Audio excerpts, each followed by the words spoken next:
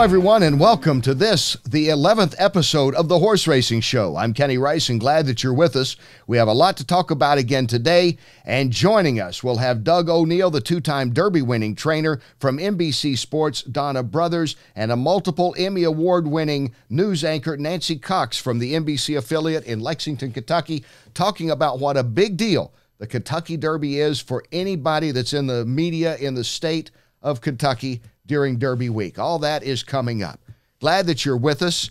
Uh, a really interesting time in sports. Auburn and Texas Tech are both going to the Final Four. It's the first time in the history of the programs that they have made it that far in the college basketball tournament, as if you needed an explanation of what the Final Four is, because roughly $8.5 billion are bet over a three week period on the NCAA basketball tournament. And if you're a Duke and Kentucky and North Carolina fan, you're probably a little upset along the way.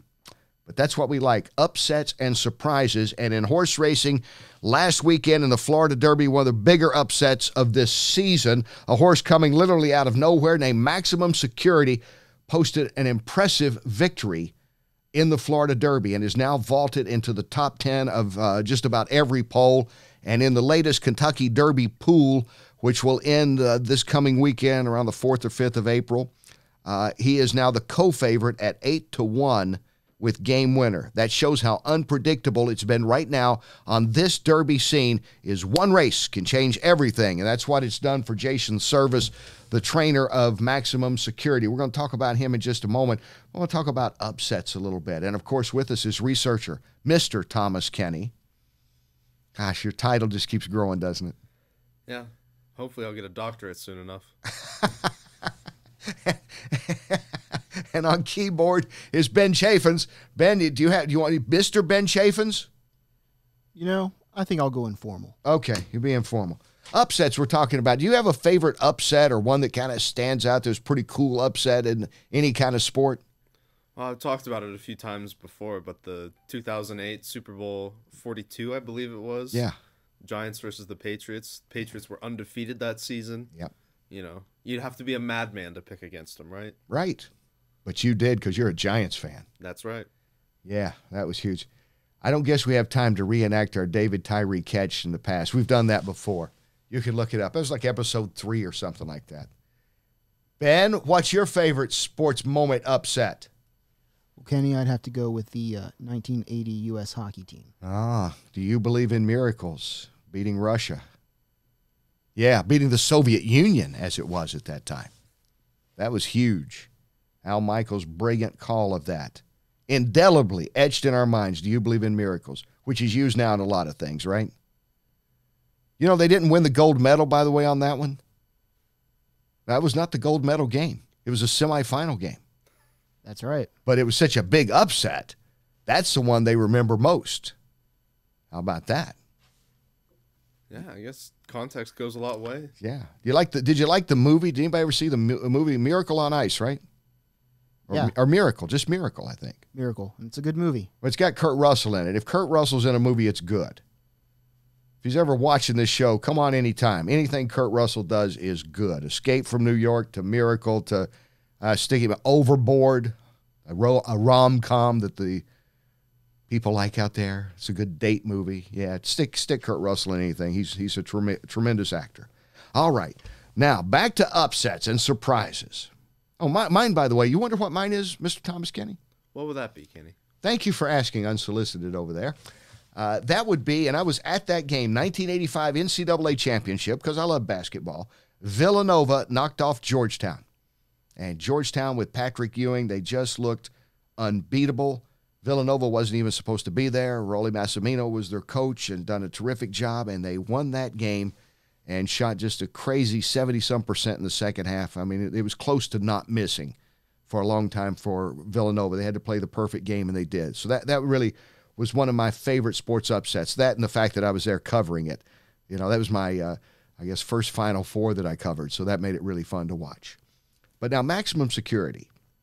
And this is the great thing that I think makes horse racing so endearing to a lot of people out there is that you know you can have these surprises. You can have these horses you didn't expect.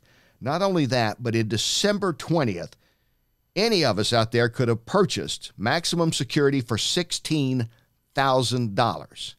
That was it. You could have gotten a bunch of buddies. You could got 16 buddies chipping in a thousand apiece. You could own a, a derby contender right now. Maximum Security is putting a claiming race. And of course, they put them in claiming races. Sometimes they're hoping somebody will take the horse off their hand. And that's the claiming price, $16,000. In this case, Jason Servis, the trainer, said that uh, he really didn't think anybody wanted the horse. It was kind of like, yeah, maybe we'll take a look at him. The horse won the race big. No one claimed him which they'd have to do before the race. You can't wait till after the fact and say, hey, he looks pretty good.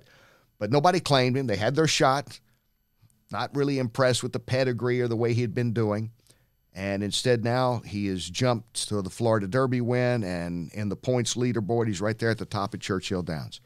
But that $16,000, you know, that's a good price. But Thomas, from your research, uh, there's some Derby winners that have been in that ballpark, uh, even some just a little less than that and and some are very famous Derby winners that heck you could get in paltry terms compared to most of the prices paid in the Sport of Kings. Mm-hmm. Coming in at seventeen thousand dollars, which is just you know one grand higher than maximum security. Uh, that was real quiet in 1998. Wow, Derby winner. Mine That Bird, 2009. Four digits, ninety five hundred dollars. wow. And going as far back as 1971, Canonero II sold for a measly $1,200. Wow. Back, of course, you have to adjust for inflation, but to think back then you could have owned a Derby winner for $1,200. That's pretty insane. That that is. It's it's like you you know, and that that's what entices people. Hey, let's all chip in on a Derby horse. Unfortunately, it doesn't work that way. Six figures is generally what you have to pay. Right.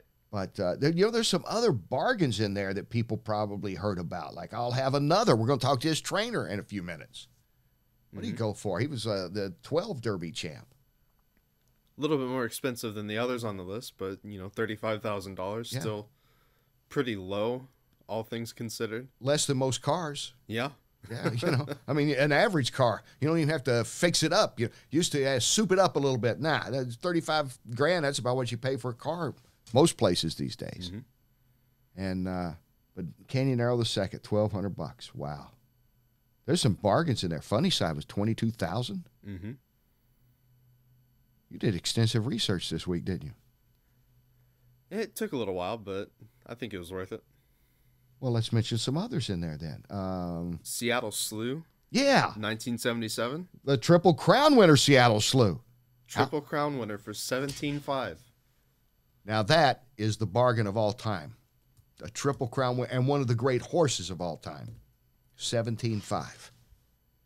Doesn't seem possible, does it? It's it's ludicrous when you when you say it out loud. Yeah, it, it, it is. Who knows? One day we'll talk maybe about maximum security. I'm sure we're going to talk about him leading into the Derby, uh, going for that. Could have had him for that price of 16. Could have had him for that price. Uh, but you know what it proves is they say you can't buy love and you can't buy a Derby winner. I don't know who said that. I just said that. Write that down. Ben, put that on a bumper sticker and let's attribute it to the sports, to the horse racing show, okay? You got it. Yeah. Because there's only been one horse that sold for a million dollars, not earned a million dollars on the way, because they can do that now with a Breeders' Cup win or something. Only one horse that sold at auction for $1 million or more, in this case it was $4 million, has won the Kentucky Derby. That was Fusaichi Pegasus in 2000. You know, you think about that because you think it's all based on potential. It's like the NBA draft has become. It's not necessarily are you good, it's your potential. And that's where the horse sale is anyway. It's the potential, who their mommy and daddy is, how they may look. Uh, but you'd think that a million dollar purchase somewhere out there would have won a Kentucky Derby other than Fusaichi Pegasus, wouldn't you, Thomas? Yeah.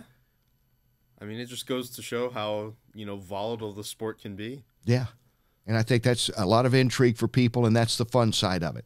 Some of the negative side, of course, is uh, sadly another horse died at Santa Anita this week. Its number is 23 now, a number we don't like to talk about. Uh, we're going to talk though about it, uh, what's going on out there, get a little better perspective from a guy who is based there. It's his home base. He's the two-time winning Kentucky Derby winning trainer. I think I said winning twice. That's redundant. Let it slide. That's redundant, redundant, isn't it? But he is a two time Derby winning trainer who had I'll Have Another and Nyquist and Doug O'Neill. He will join us. Donna Brothers, Nancy Cox coming up later on. We'll have the Rood and Riddle vet check. It's all right here on this, the Horse Racing Show. Stay with us.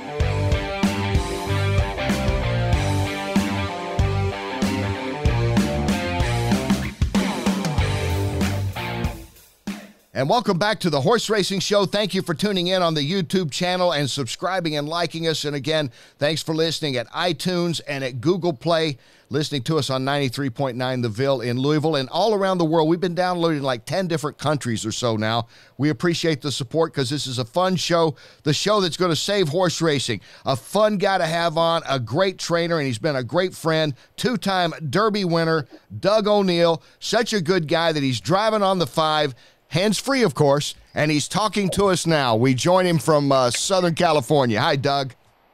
Hello, Kenny. Thanks for having me. Oh, man, it's always great to talk to you this time of the year. You still have a couple of long shots out there. Not everybody's in the Derby scene every year. You know what it's like to win those roses. And uh, I don't know, from from a standpoint of a, of a guy that has a long shot, do you still get excited keeping up with everybody else right now? Oh, you do. It is such a great time of year. You know, the uh, these three year olds now they start stretching out and they start separating themselves and people are going on the road and you know some of the horses really thrive on traveling some don't. And you know baseball season starting up too. So it's just it's a great time of year and and uh, yeah thinking about the kentucky derby gets uh, you really jacked up whether you have a horse in there or not. As far as yourself, uh, you know, with I'll Have Another and Nyquist, your two champions, uh, I guess just the whole time, you, you still think back to those times and how you were feeling around April, just about a month away from the Derby, and you certainly had horses that looked like could do it, but you still were hoping.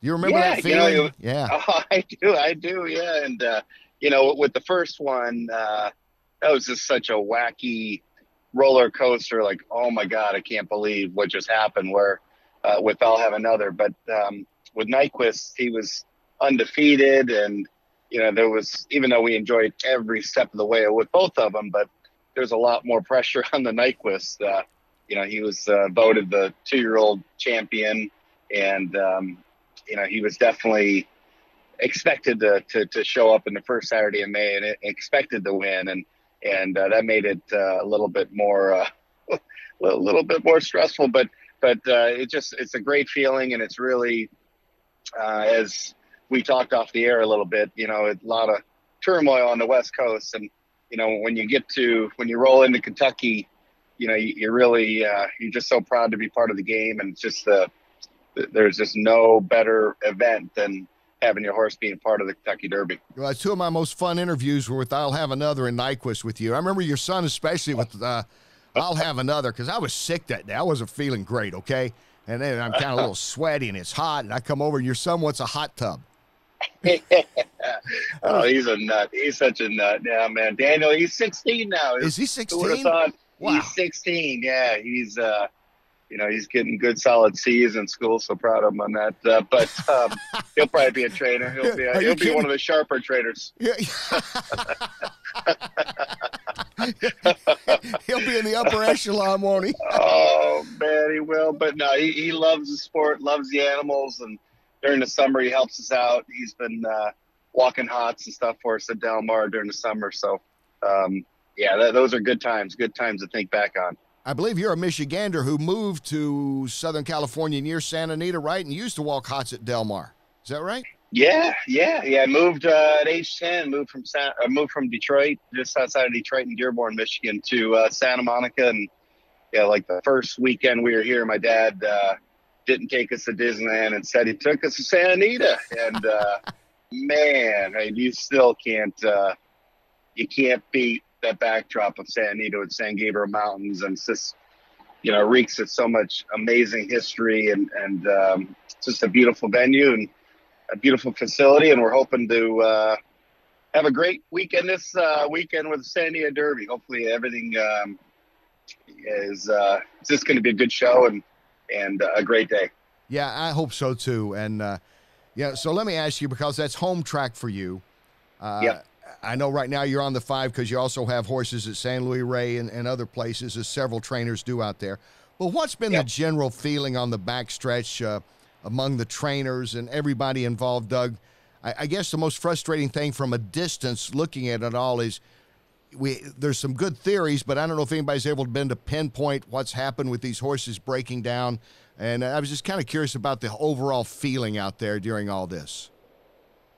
Yeah, you know, it's uh, it- it's everybody's obviously very distraught and upset about the, the loss of, of the number of horses that we've had. But um, you know, I think everyone's on the same page as far as um, you know what what the changes they have made. The, the the track, knock on wood, is as good as it's ever been. And uh, you know, we um, unfortunately in December the track superintendent Dennis Moore left, and then uh, the rain. We had probably the, the wettest winter I can recall in a long time. I mean, just days on days on days of just the rain coming down sideways, and um, you know, and we ran through that. And I, I think there's a lot of stuff as we look back. You know, I, I think all of us horsemen uh, in management would have agreed, uh, would agree that you know maybe we uh, shouldn't have run on some of those days, but regardless, we got Dennis Moore, the, the track superintendent, back. We've got our normal, beautiful Southern California weather back, and you know our tracks out here really play more to sunshine than they do to to the wet weather. It doesn't have the sand buildup that the East Coast and Midwest tracks have. So, um, you know, I just right now things are going well. We had a incident the other day coming down the hill was which was horrible, but uh, you know I, I think we're all just staying really strong and and um, you know we're doing everything uh, we can to to be proud of our sport and be proud and, and to show everyone how we're here to serve our, our beautiful animals and and uh, you know it doesn't come without risk of course uh, but um, you know horse and jockey are, are the, the main uh, importance and and I applaud uh, you know ev- everyone in the, the business for everyone's been kind of pulling together and realizing we're all in this together and we just need to be a you know a strong voice. I heard a gentleman named Nick Luck from England, just a really bright, articulate fella. Yes, I work with Uh, Nick. Yes. Oh man, he you got to let. He just did an interview, and I was like, whoa! It just really floored me. Uh, You know, he was just so much more articulate than I am right now. But just about how we all need to get together and um, and be one voice. And uh, you know, for whatever reason, we've been kind of bending back and forth and listening to, you know, some small small group get rid of racing, and we're trying to like get their opinion of what do you think's wrong with racing and and really at the end of the day you know we've got to be respectful but uh, of those small little groups but we got to we got to say what's really great about our industry and what's great about our sport and what we're doing to uh, protect uh, horse and rider on a daily basis so um, yeah I, I would love to hear more on have Nick Luck uh, and you Kenny uh, speak more on what, what's great about our sport and what we're doing to continually, continuously uh, become safer and better and and and just going the right way. That's why we have guests like two time Derby winner Doug O'Neill on this show. I like to get people to know about who you guys are as opposed to just seeing you in the winner's circle, which is always a great place to see you. But, you know, my take on it is, and I told some of these guys a long time ago, as you know, I've covered a couple other sports that uh, some would consider brutal MMA and boxing. And, Yeah. uh, you know, my theory is, especially with MMA, I think horse racing needs to get a bit like that. In other words, just come right out there and say, This is what we do. A lot of people like us. Things can happen. There is danger in the sport, but there's also excitement and fun, and this is what we do. Please come and enjoy it with us. I'd almost like to it. see that unapologetic approach for a while. I know you can Yeah. overdo it, but obviously, what's happened at Santa Anita, nobody wants this. I can't even believe people who don't like horse racing wants to see what's happened to prove a point they don't like horse racing. So to me, it's sad. It's happened. Do you dwell on it or you try to move forward? That's probably not as articulate as our friend Nick would say or you, but No. to me, I think there does have to be that point that you don't say we're changing all the racing rules and we've just thrown out whips and nobody can ever use Lasix again. Forget that. Be the sport that it is. And accept that and say this is what we are. And by the way, uh, you want to get excited and talk about the danger sports and sports that you know fire up young people instead of worried about them betting so much. How about come out and watch these jockeys that are racing at 40 miles an hour about uh, half a foot apart? That's a pretty exciting thing to enjoy, and then learn the sport and then bet. Gee, did I just do a commercial for the NTRA? you really did. That was great. No, and that's really, I think, the way we need to approach it. And then, of course, uh, you know, have um, you know a, a, some type of medication unifying, you know, national, Yeah. you know, so everyone's on the same page because that can get really goofy too. Where you know what is legal in Pennsylvania isn't legal here, and what's legal here isn't legal there. It's like what, you know? So just trying to get one voice, have all of us pulling together, and and all of us. Um, rem- reminding each other and reminding people who don't know much about it what, what's great about it and that's that's key I, I would vote for you as one of those guys Oh. speaking. I mean, we need a commissioner or Yeah. something. Seriously, they need to get that straightened out a little bit. But let me get back my to the. vote's for you for you and nick nick uh, luck are, are my two you two guys Well, you know Uh, what? It would be a it would be a yin and a yang, wouldn't it? I mean, he's a little more would be- diplomatic than me about this, but uh, I do think you can put him in a headlock you can put the people in a headlock and he can kind of he can kind of use his words to kind of soften the blow a little bit good cop, bad cop. Welcome to There horse racing. Uh, I remember when I first met you. We talked about the Tigers because I used to go to Old Tiger Stadium. I have relatives that Mm. live in Dearborn and all throughout that area. And, uh, Yeah. you know, there's just something about this time of year. The Final Four's coming up and baseball, and we're Yeah. getting closer to figuring out who's going to be a good Derby contender, who's for real or not. Uh, and you're Yeah. such a sports fan. I know you got to appreciate everything going on right now. Uh, man, I do. God, it's uh, there's not enough TVs to have all the different uh, events on. Then I've even, you know, we've got a lot of uh, owners and friends and uh, stuff in in NH in the NHL, and we've got um, Erik uh, Johnson with Colorado Avalanche has got a few horses with us, and uh, he's they're fighting for a playoff spot. So you got hockey playoffs coming up. So it really is. It- It's a great, great time of year for for uh, sports fans. That's my, for sure. my goodness, how you had a horse that won the Derby named Nyquist. How could I have left hockey out? What's wrong with me?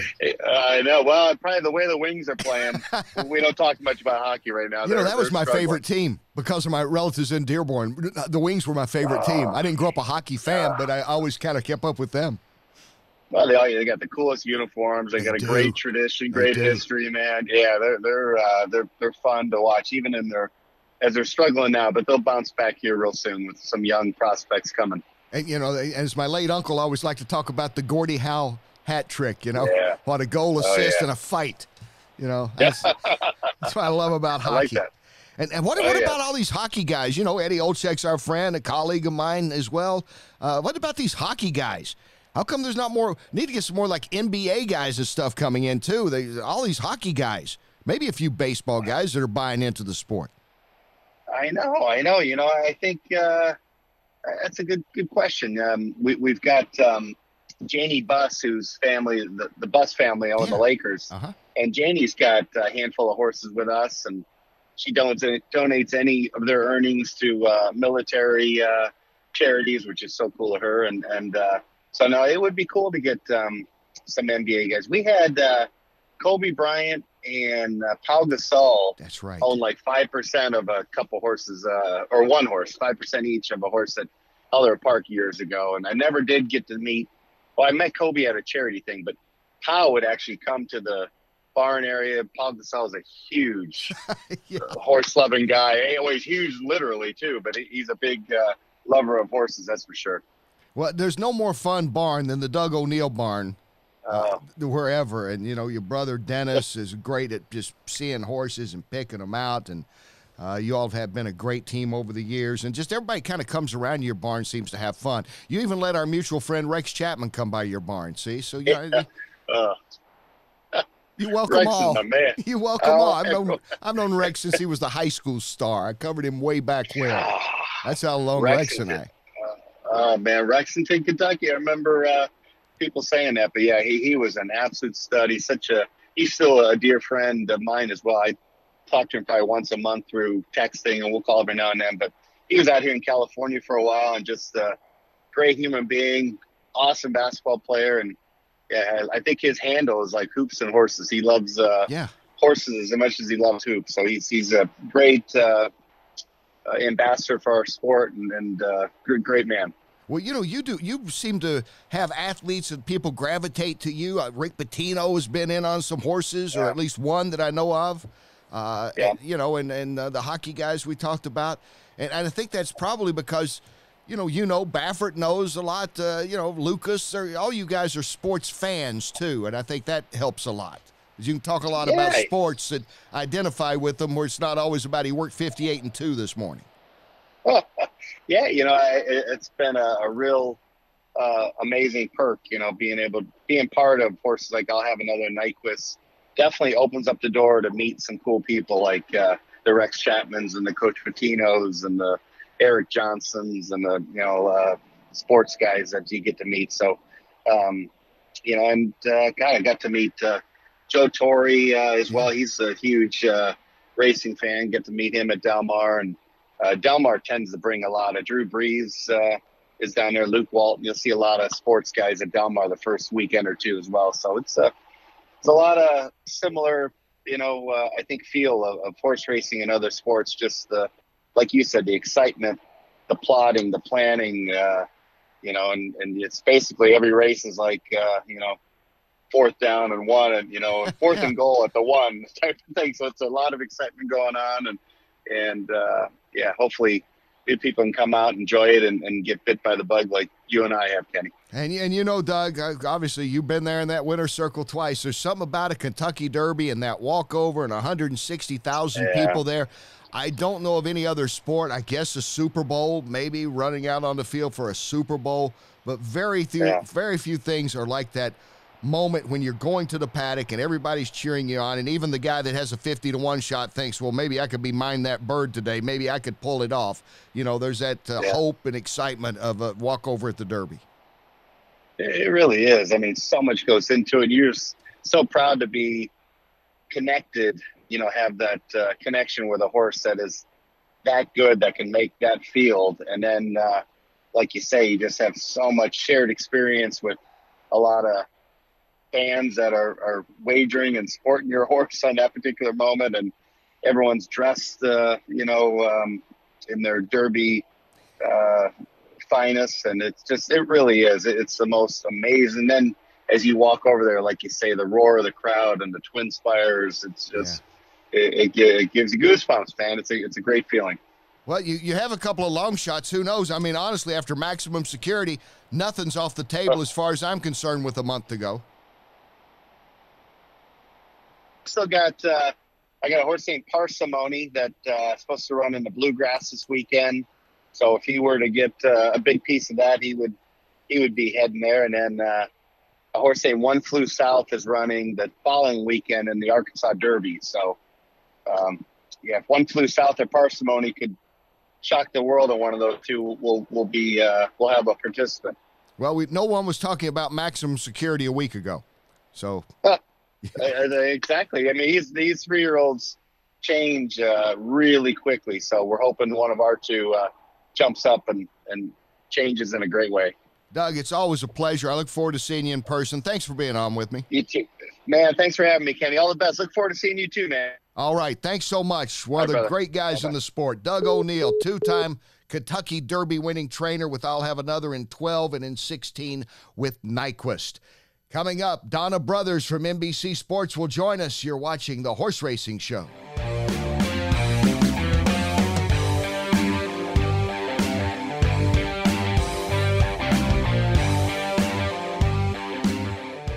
Welcome back to the Horse Racing Show. Thank you for logging on and liking us on YouTube and watching, and then on iTunes and Google Play, Facebook, following us at Horse Racing on Twitter. Great to have this person with me. She's one of my favorite people, longtime friend, even though she probably won't admit it. A pioneer in her own right, a trailblazer, even though it's been over 20 years since she has ridden. She is still among the top four in all time money earning among female jockeys, and you probably know her best with NBC Sports. She is Donna Brothers. Hello, Donna. Hello, am I not going to admit to being your longtime friend or all the other accolades? Well, maybe the longtime friend. I don't know if you want to admit how long we know each other. And you know what I was thinking is I don't know the last time I interviewed you. I guess we interview each other all the time on the on the Triple Crown Trail. What do you think? What do you think? This and that, but an actual That's interview. true. Yeah, how about that? Yeah, that's true. I mean, you know, the the very first show we ever did together, I'm sure you remember it, but I remember it well because it was my first show. Really, it was Yeah. the uh, ESPN Jockey Championship out in um, Texas, and you saved me. That's what I remember Ah, because you're I kind of got thrown to the wolves on that show. I'd never done a broadcast television show at all. And you just made everything go seamlessly and you would throw me softballs and if I dropped them, you would just pick them up and nobody would even notice. So thank you for that, Kenny. I owe Uh, you. you're you're God, that was a hundred years ago. You're you're much too kind. And people ask me all the time, how does Donna do those interviews, those great interviews on horseback right after the race? And I say because only Donna can do them. I don't know.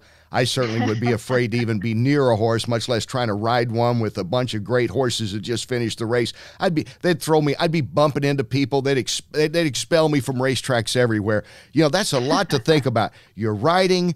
Uh, the, the guy you're talking to is is you know out of breath and excited. He's just won the race.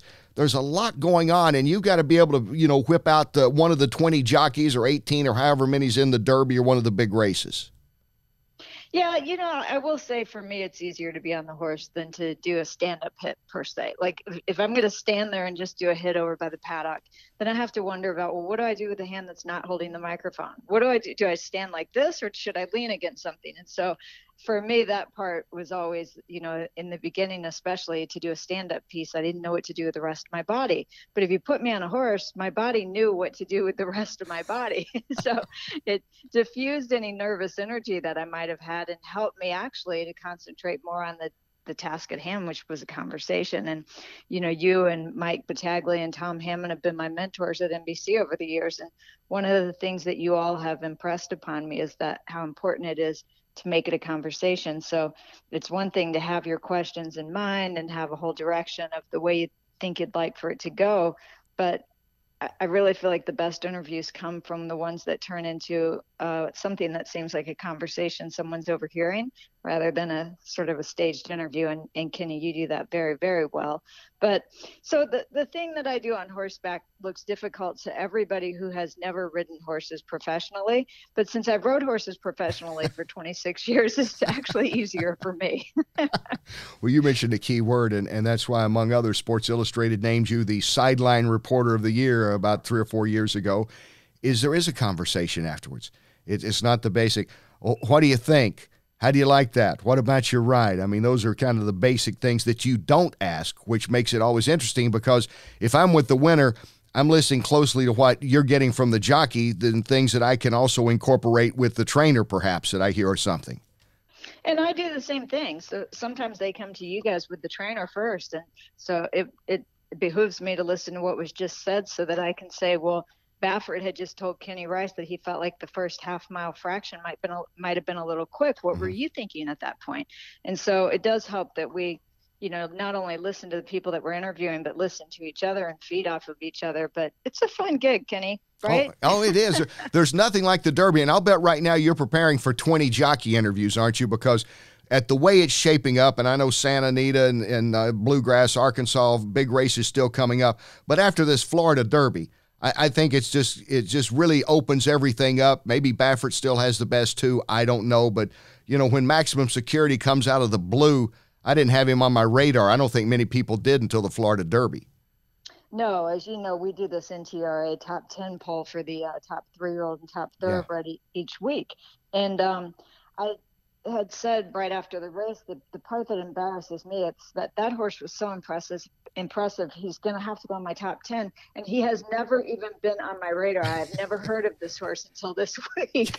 And so i went back and looked at the ntra top 10 polls and he had not made like the top 30 of the ntra cut. So he wasn't on anybody's radar but the kind of race that he put together yeah you, he's a serious contender now Yeah, and, and you know, to me, Donna, I, I think this is a good thing.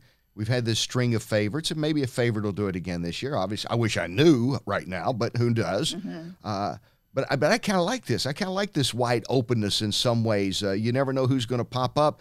eh, you know, maybe maybe we'll have that long shot again. I think it at least is appealing out there to the viewers and those that'll be at the track. Is do we have that super horse coming in? Do we have a Pharoah or Justify looking one? And maybe we'll have one after the Derby, after Santa Anita this weekend with Game Winner. I don't know that yet, but I, I do like that underdog uh, role that some of these horses may be coming into the Derby with. Yeah, and you know when you go back and look at the Rebel Stakes, which I did this morning, um, but both divisions of the Rebel Stakes, it's easy to see that Improbable and Game Winner, number one, both got a lot out of the race, and number two, probably both needed the race. They broke, both broke just a step slow, which I think was an indication or, or just a, a, side effect of having been off for so long and not having raced in the last couple months. And so they both broke just a step slow, put them both into positions that they didn't want to be in. Game winner ended up eating more dirt, being shuffled back further than he had before. Improbable ended up being wide around both turns because of his slow break from that outside post. But then if you look at long long range Toddy and Omaha Beach, the two horses who beat Baffert's favorites in the Rebel Stakes, those are real horses too. I mean, Omaha Beach ran an amazing race. He's a beautiful, good-looking horse trained by Richard Mandella, was ridden by Mike Smith, and then Long Range Toddy. If you go back and look at all of his races, he doesn't have a bad race. And Jon Court rode an amazing ride, but Long Range Toddy put him in a position to do it. And so, yes, like you, you know, it, it's always easier for us if we can just go, oh yeah, the, these are the two horses to beat, and yeah. that's it. But right now, we're pretty deep on who the horses are to beat. I, I think it's going to make for for a fun time in it all, and. I, I want to ask you because you're so astute and you have an opinion and you're candid, and that's among the many things I like about you. Is uh, with the whole Santa Anita issue, and I don't want to get into about the track and all. We, you know, we've talked that so many times in the on no, we don't show. have an hour on this show. No, anyway, no, yeah, yeah, and then you know, and I, I want to bring in landscapers, soil specialists. You know, it gets into that. But one thing that they raised during this that some people have asked me that are casual fans or or just you know they just kind of know me or know somebody we've had on the show and they've tuned in a few times is mm-hmm. about the whips when they say we're going to limit whip or should jockey use whip. Then it gets back into a controversy uh, that probably needs a little clarifying because some people say, are they beating the horses? What's this whip all about? I think that's the first instinct of those that are on the outside of horse racing. Yeah, I'm, I'm going to back up a little bit to talk about this because when people say, do whips hurt? My answer is no, they don't hurt. Horses don't run into pain. I mean, we've learned over the years that horses, if their leg hurts, they slow down. If their tooth hurts because they hit it on the starting gate, they slow down. And if their bum hurts because they're being whipped uh, too vigorously um, or too aggressively, they're going to slow down as well. But I will say we've come a long way. I think there was a time when people used to think that, yeah, if you hit them harder, they'll run faster. Well, we've also learned when we're training our dogs that they learn through positive reinforcement. And we've learned this with the horses too. They learn through positive reinforcement. So over the years, the riding crop has become more and more I don't want to say gentle, but less severe. Let's say that it's mm-hmm. become less severe. And so that it does make a loud popping noise, but it's really more just to startle them than it is to to hurt them. And also keep in mind that they, they are very thick skinned. So, you know, we brand a cow unsedated and their right. skin is about the same as a cow's. And so in order to be able to to hurt a horse, you know, with with a strike like that, it would take somebody who probably weighs a bit more than 100 pounds that the jockeys weigh and in some sort of a riding crop that would be a bit more severe. And again our riding crops did used to be a bit more severe than they are now but we've learned over the years we have now what we call the cushion crop. Mm-hmm. and so it's got a actually padded popper. That's the end part of the uh, the riding crop that actually hits the horse and while it does make a loud popping noise, it doesn't hurt them. And I, I actually like to compare it to a personal fitness trainer. And so if you're at the gym and you're working out and you're training hard for any sort of a competition that you have coming up and you have your personal fitness trainer there and you know you're getting to your max reps they're there going come on you can do this. You've got this. You've got it. Yeah. and really that's what the jockey is doing with the riding crop. They're like come on buddy. Pay attention. No don't drift out that way and so they might hit them a couple of times on the right side, and then if they go to drift in, switch the crop over to their left hand. No, not that way either. Go straight. Come on, you've got this.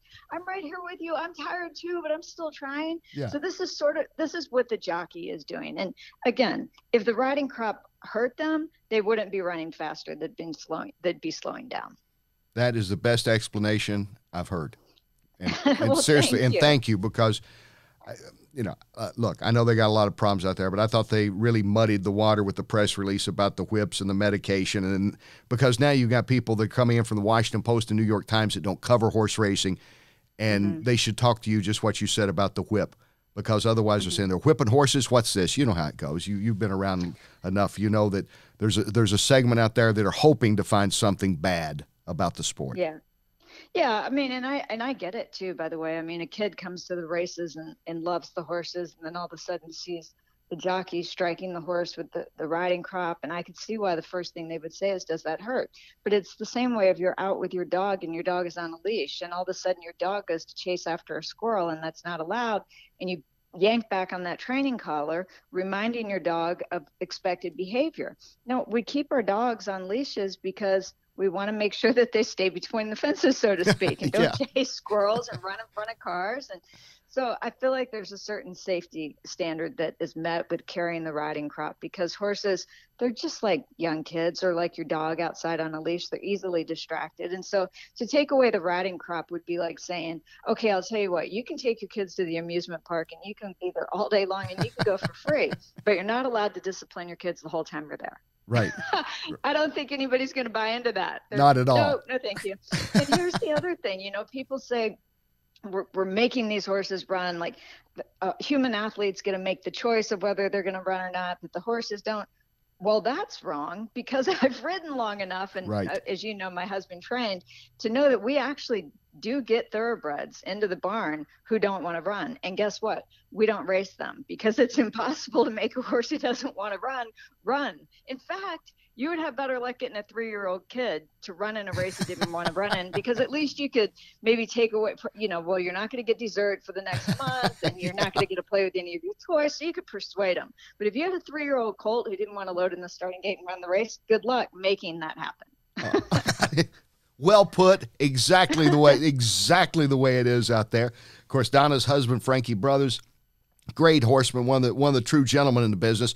And the next time you're on, I want you to be on with. I want to talk about you and your mom, and, and maybe get everybody, you guys, on because. Um, Julie Krone was on a couple of shows ago and just spoke highly of you and your mom Patty and, and just about the trailblazing that all of you did and how you know one thing led to another to another to, to get to the sport now where you don't go wow there's a, a female jockey I didn't know they still had female jockeys you know and at your time Yeah. and certainly when your mom was riding it's like this it was such a it it was a novelty and uh, and I think that that's come a long way and you're a big part of that Well, and one of the reasons why there's so much talk about it this year, and thank you for that, but it's the 50 year anniversary of the uh, 1969 Yeah. was the first year that women were actually um, uh, Kathleen Kathy Kusner got the license in 1968 and the right to ride, but nobody rode in their first race until 1969 and so this is the 50 year anniversary of, of that having happened. And so on april 20th my mom my sister and a bunch of our friends and um, yeah, quite a few of us. I think like 20 of us are going to spend the day at Keeneland, really just there to recognize my mother's, you know, huge accomplishment. I mean, 50 years ago, oh yeah maybe not on that day, but certainly in that it was in the spring of 1969 that she rode in her first races, and she won her first race in May. Um, at a recognized racetrack, and and Keeneland's even gonna um, have mom do a trophy presentation for one of the races, which is really nice. That that is nice. And if you have a chance, go by and say hello to her, and to say hello to Donna too, if you're in the Lexington, Kentucky area that day, because I think that's that's that's well deserved. And Yeah, and yeah, Donna's very friendly, by the way. She's a TV star with NBC, but she will talk to you. I've I've seen her do that. Unlike Kenny Rice, who just puts his nose in the air when people walk up. You know, I'm just kidding. You know what? You might get this. I get this every year at the Derby. I mean, I'm telling you, every year. Some people even I don't know, and every now and then a few friends will say, "Saw you at the Derby. I said hello. You didn't speak to me." I go, well, you know, I had like 30 seconds to go talk to Baffert or 25 seconds to talk to this guy or get someplace. And I'll bet it's that way with you. You're riding out there on your horse, and everybody think, oh, there's Donna riding on her horse. Hey, Donna, Donna, I'm over here. Look at me. You know, they don't know you Well, got the- you got less than a minute to get in position before the race starts. Not just that, on the big days like Derby and, and Breeders' Cup, and uh, if, if we have a Triple Crown on the line, I'll use a double earpiece. So I'll Oh, actually yeah. have the show in both ears because the crowd noise sometimes when you're out there on the horse can be so loud. Right. And I just really need to block all that noise and just hear the show. And so I really just literally cannot hear them saying hello to me because all I hear is program. and so then finally they'll like, you know, like really, really, really wave me down and I might see them and then I'll, I'll give them a, a quick glance or a quick wave. And yes, I think sometimes they think that we're being impolite, but really it's just that um, well, we don't go visit them when they are in the middle of surgery on any patients or, you know, when they're in the middle of trying a case in front of the lawyer, I mean, in front of the judge. So maybe we should. Yeah, maybe we should. maybe that'll work. Get it. Yeah. uh, Don, I know you got to run. Listen, I always appreciate your time, and I will see you soon. We have a few things coming up a three day event, and of course, the Triple Crown on NBC that we work together. And I always love to see you. You know that.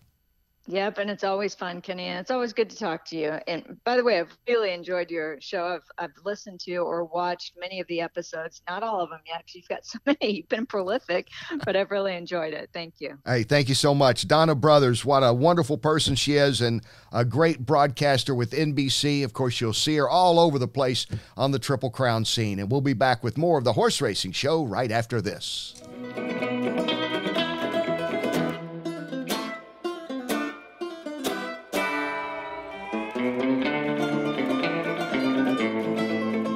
Welcome back to the Horse Racing Show. We're counting it down to the Kentucky Derby.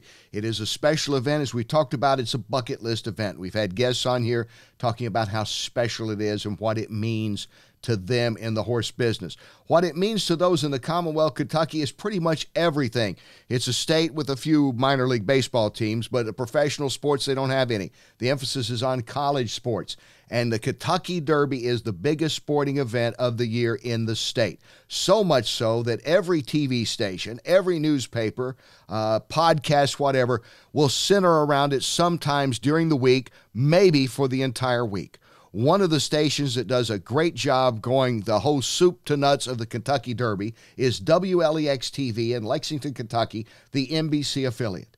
Their main anchor and the top anchor in the Lexington market is Nancy Cox, a multiple Emmy Award winner who has followed horse racing for many years, and Nancy joins us now. Welcome to the Horse Racing Show. I love the title.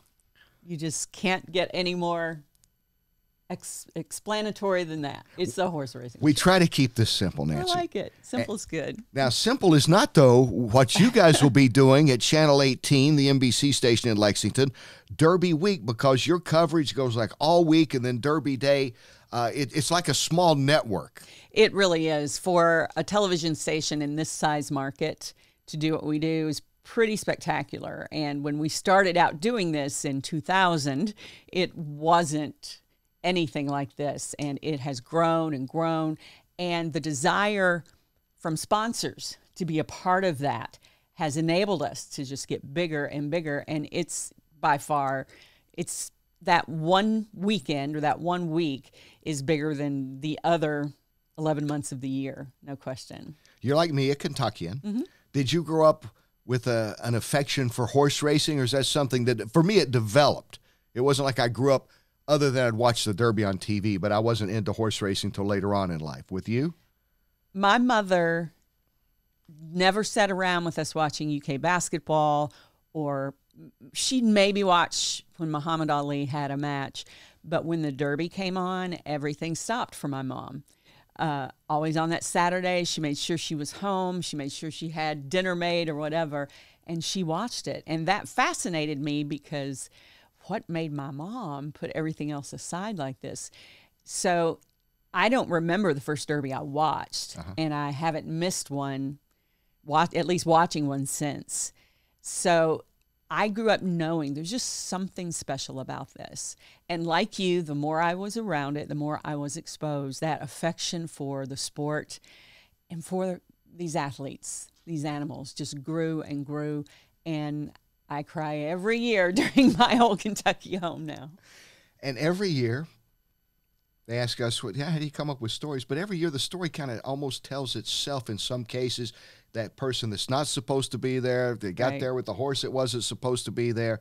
Now they're there. In addition to, I guess, you know, and that's why it's a 50 50 split in demographics. I'm probably on channel 18. It certainly is that way with NBC. You got men and women watching. So you also have the fashions and the food and drink mixed in with the, the human interest. We actually have more women watching our all day coverage because we do begin about 5:30 in the morning and it goes all day until 2:30 when NBC takes over its network coverage. So obviously it's not just about the race for all that. It's it's more like a festival. It's it's the whole state's homecoming. And for those people who've never been able to go, it is really remarkable to me for them to be able to sit down and watch all day coverage, whether it be in Lexington or Louisville. The Louisville stations do the same thing. So they get to feel a part of things. I've run into people over the years. There's a lady in Maysville who operates a, a miniature um, museum, a museum of miniatures, and they had a a Kentucky Derby display. It was a parlor of one of these big farms after they've won the Derby, and you could see the blanket of roses and the trophy and all that. But anyway, she was that invested in it, but she had never gone to the Derby. Wow. But she told me how important it was to her. that She sets her alarm, kind of like the royal wedding. you set the alarm, you get up, and and people watch every minute of it. They want to see the fashion and the people and the stories behind the athletes, whether that be the jockeys or the horses, the owners or trainers, where they came from, how they got this dream. As you said, the story always develops. They're always unique backgrounds there. So this woman just was just joyful. She was bubbling, talking about how she could watch it and feel a part of it. And she's in her 70s, and she said, I may never go, but I feel like I've been there. Yeah, that's that's wonderful. That's what it's about to me, because it is a two minute horse race, Right. and you've got hours of TV coverage. We're talking with Nancy Cox, the top anchor at uh, WLEX TV in Lexington, the NBC affiliate, leading into the NBC coverage, of course, of the Derby. You know, we're on like NBC. I, we, we do so many hours. I don't even really know how many hours we do. Oh, yeah. I just know I show up and talk a lot. Sometimes I talk, you know, say don't talk as much, but you know, there's always something to cover. But but I do find it it's it, it's the only sporting event I can think of that's so much hype. Maybe the Super Bowl in terms of amount of hours, if you start breaking down mm-hmm. per capita hours compared to actual game time of a Super Bowl. I can't think of maybe they do it in some other markets, but I don't know any by any any state outside of Louisville, state out Kentucky outside of Lexington and Louisville that devotes the time they do to the Derby. A little bit in Baltimore. I've been there for the Preakness, uh-huh. and their stations will devote like all day to the Preakness. But I don't think they do like the whole week, Right. like Lexington and Louisville stations do. And we're there on Friday for the Oaks, and every newscast beginning at 4:30 in the morning, we have a live presence there and do the majority of our coverage from there.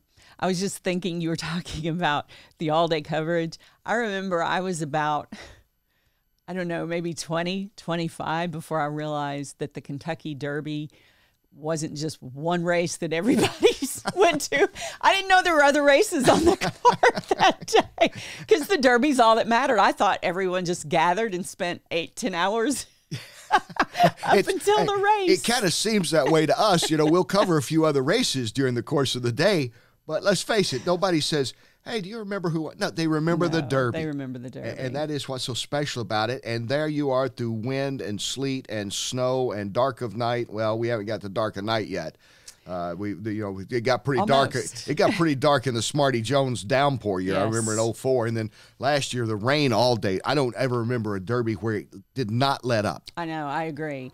And the Smarty Jones year was just, we didn't have a cover over our broadcast position at that time because that was only about five years into it. We'd had decent weather, we had no cover.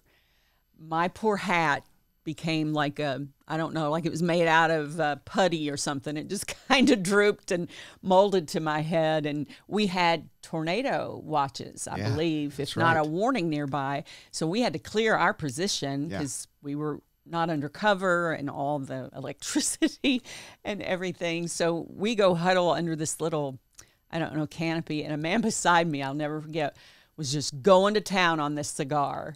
And we're all just bunched up in here and he's just blowing smoke right in everybody's face. And I was like, I'm cold, I'm wet, and I'm breathing cigar smoke. But it was still the Derby.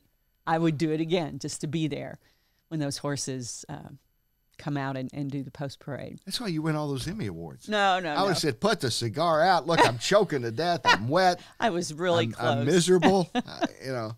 Uh, and so, how much preparation will you do for the Derby now? Or right about a month out. Yeah.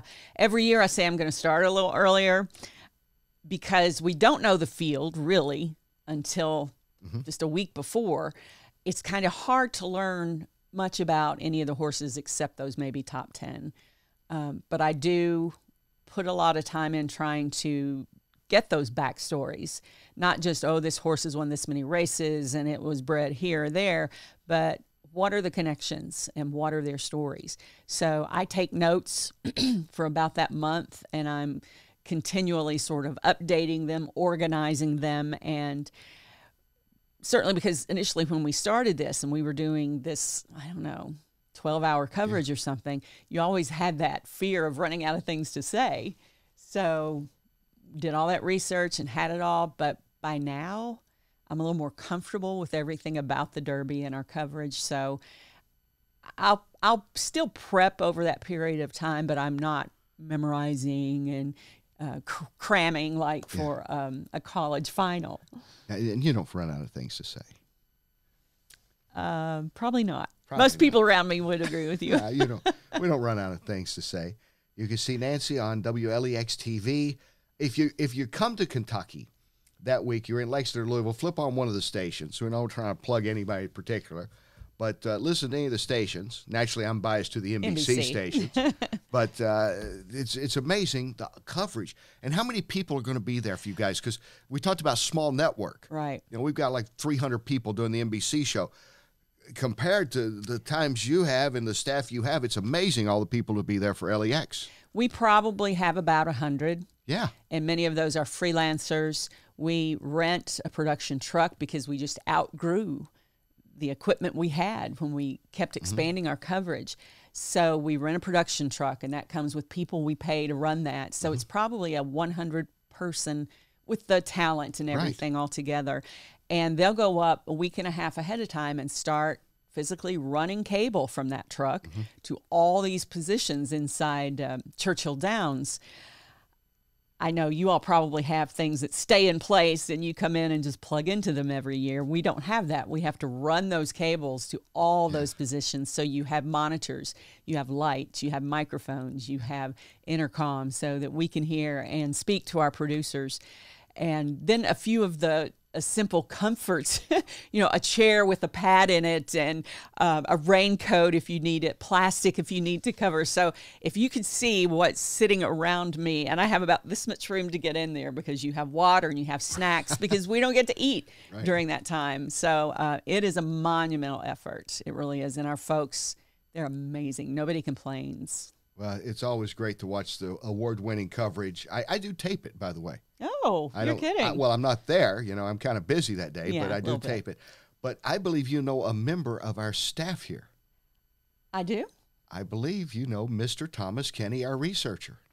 Well, yes, I do. I have seen him on Mr. Thomas Kenny, and um, He's very talented. he is, and he's learning a lot about horse racing. Is he here? Yes. Hey, look, what a coincidence. Look who has just joined us now. Hi, Mr. Kenny. Hello. So nice to see you at work in a professional setting. I just think he's so cute. I- is he, though? darling? I'm sorry, I wasn't going to do that. Oh, d- d- You might want to explain this relationship. You're not embarrassed, are you, Thomas? Of course not. Of You got course over not. that a long time ago. That's Thomas's. That's Thomas's mom, who came up with the idea, and I said, "That's great." This is because it fascinates me. I don't know if there's too many places in the country. Do you, Thomas, where where a local TV station is going to devote like a whole week of coverage and like ten or twelve hours in one day to one sport? I'm sure somebody does out One there. I just- event. yeah. One event. I don't know who it would be, but not like Lexington and Louisville, Kentucky does. Mhm. Do you? You know, I, I think of maybe, you know, some of the other huge events, you know, like the Daytona 500, maybe. Yeah, Yeah. maybe, maybe, yeah. Maybe not as extensive. Maybe they don't do a whole Yeah. week leading up to it. Right. But Yeah, maybe the Indy 500, maybe. Yeah, perhaps. I uh, I have a friend who has been in Indiana Uh-huh. TV, and I know for them it has been rough. But Yeah. we've never compared notes on the amount of Well, it's time we start. We think Kentucky Derby coverage is the best. I, I would agree there, of course. I will tell you that NBC has encroached upon our territory a few times. We used to do our coverage. What, me?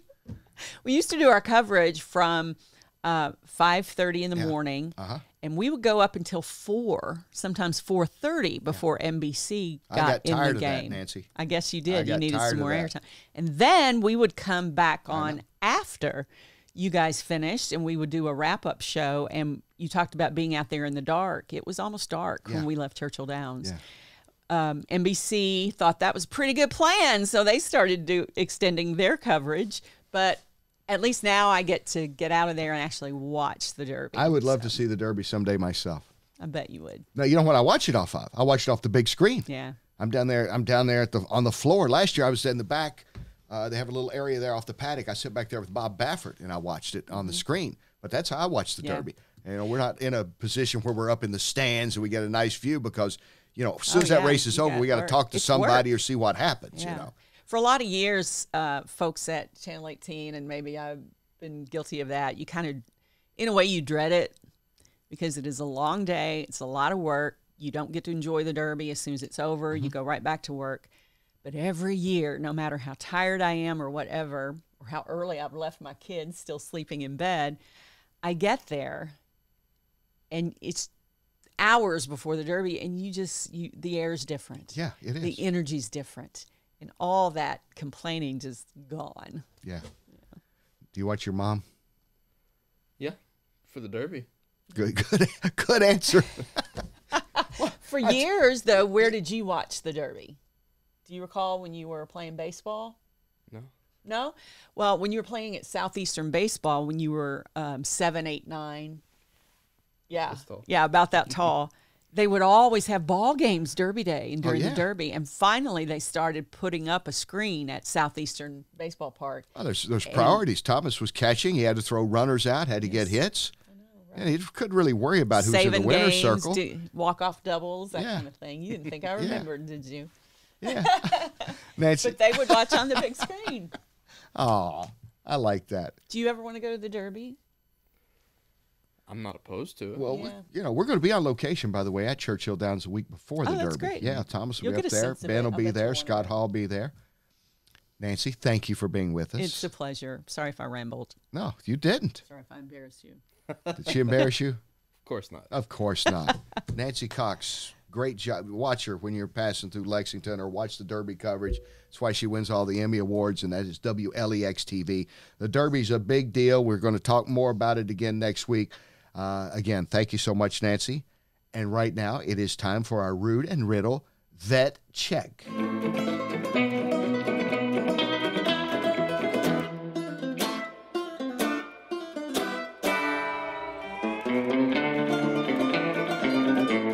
And welcome in now, Dr. Scott Morrison. Uh, if you want to know about the horse's foot, I would ask Scott Morrison, really. And this time of the year, especially, uh, you'll hear horses on the Derby Trail. Quarter cracks comes up a lot. What is a quarter crack? Uh, no better expert than Scott to talk about it. Dr. Morrison, thank you for being with us. What is a quarter crack exactly out there for the layman? Yeah, yeah. Well, quarter crack is, you know, basically we divide the foot into different regions. You, you have the toe and the heel, and then you got the, you know, between the toe and the heel, you have the quarter. So, you know, a quarter crack is a is a crack in the quarter region, you know, as opposed to a toe crack or a heel crack. And uh, quarter cracks typically occur at the hairline. You know, they start up at the coronary band. You know, so a lot of people falsely categorize cracks that are on the ground surface as quarter cracks if they're in the quarter, but those are more more properly referred to as sand cracks or weather cracks. But you know, true quarter crack is up at the coronary band, and they're usually full thickness and they bleed, so they're you know, they're kind of a serious deal. It irritates, obviously. It it affects training. Uh, put patches over it to cover it. Try to get everything because, let's face it, what pretty much your knees, your back, your feet for any athlete, human or equestrian, you, you need those. How how tough is it to treat a quarter crack and get the horse back on the track in racing? Uh, that, that's variable because you know it depends. Uh, you know, it depends on the conformation of the foot and how healthy the rest of the foot is. You know, usually horses that have quarter cracks typically have a kind of a lower compromised heel. You know, so some of them could be pretty straightforward. You could patch them and, and put a special shoe on to, to unweight the area, and you can get them through.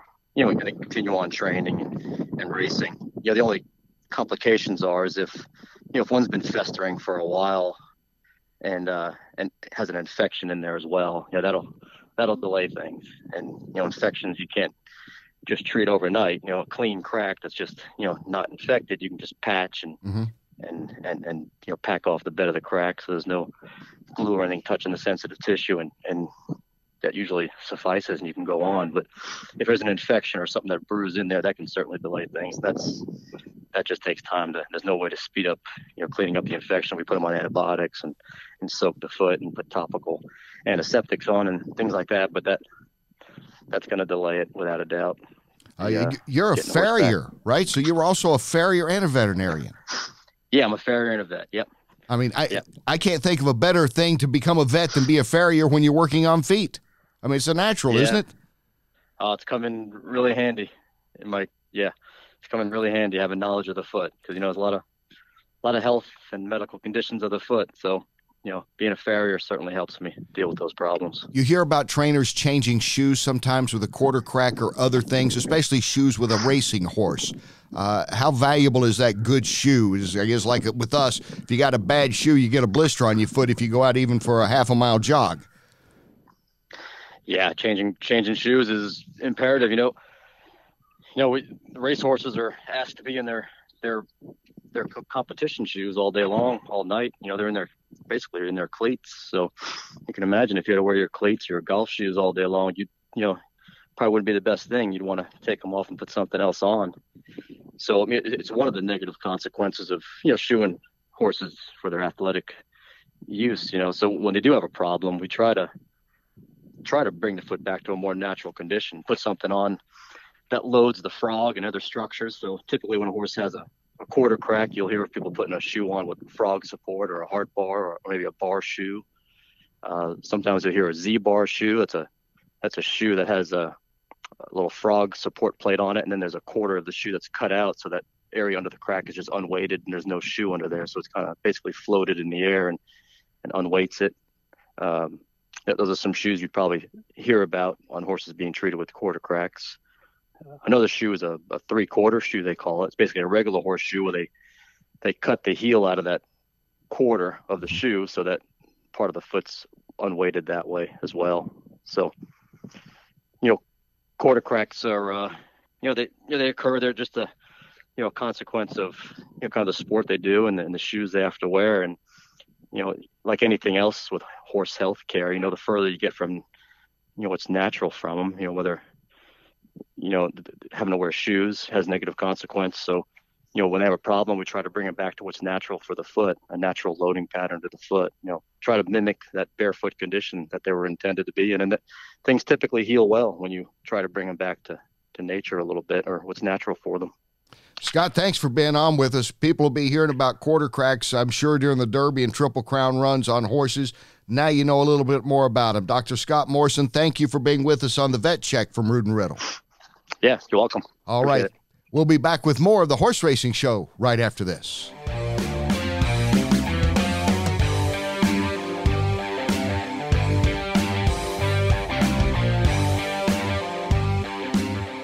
Again, thanks for tuning in this week to the Horse Racing Show. We appreciate your time and your support. Doug O'Neill, Donna Brothers, Nancy Cox, thanks for being with us as well. We talked hockey. Well, we talked it with Doug. We were talking about big upsets. Ben Chaffins liked uh, the Miracle on Ice, which was not the gold medal game.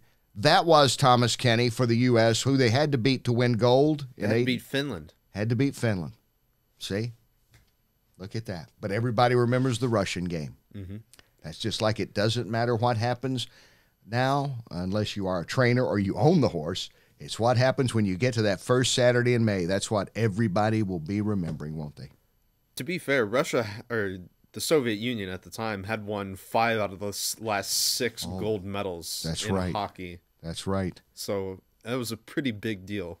Yeah, that was huge. Maybe the biggest upset in U.S. sports history, in, in many ways. Yeah, not not just Olympic sports. Will there be an upset at the Derby this year? Hmm. Saw an upset last week. Maximum security in the Florida Derby. Big races this weekend, including game winner back in action. Is he the one to beat in the Santa Anita Derby? We'll talk more about that next week. Join us again for the Horse Racing Show. I'm Kenny Rice. Thanks for tuning in.